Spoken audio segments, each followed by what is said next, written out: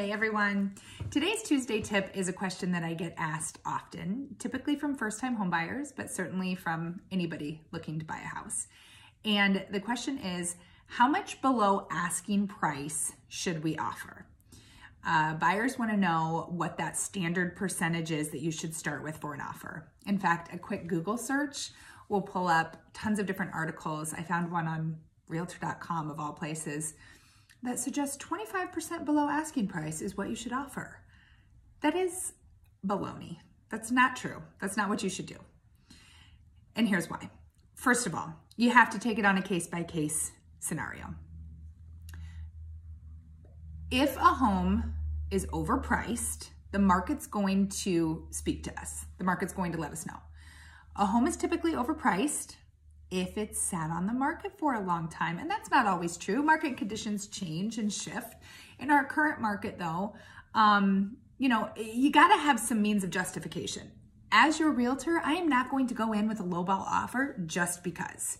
Now, if we can say, look, the neighbor's house sold for 10K less and it had a finished basement and yours didn't, this is why we're offering what we're offering.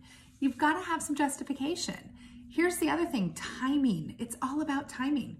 If a house just hit the market and you go in on day one trying to offer 25% below asking price, they're probably going to give you a big fat no. If it were my seller, I would probably tell them to give you a full price counteroffer. Because you're not going to, that doesn't make sense. Why would they? If they wanted to sell it for that, we would have listed it for that in the first place unless there are means of justification for that lower offer. So there's no standard percentage point that you should offer below. It's all based on current market conditions, the condition of the house, comparables in the market, and also how much do you love the house? If you feel that the home is priced correctly, even if it's been on the market for a couple of months, if we can justify that price and you feel the home is worth that, is it worth risking losing the house over $5,000 when that's amortized over 30 years?